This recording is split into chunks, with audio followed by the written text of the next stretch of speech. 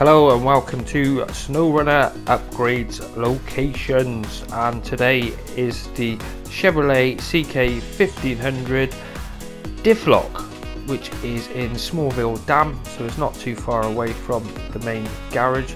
Go and see you we'll go into the customization on the garage.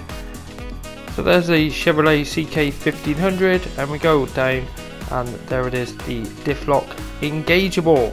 So we have got option now cool so where is this upgrade location and it's just south of the garage at Smithville Dam just there just down at the side of the river so pretty easy one Righto, oh, well that's it for today's SnowRunner upgrades locations. Don't forget to check out the other episodes, got plenty more to show you. Thanks for watching, and I'll see you next time.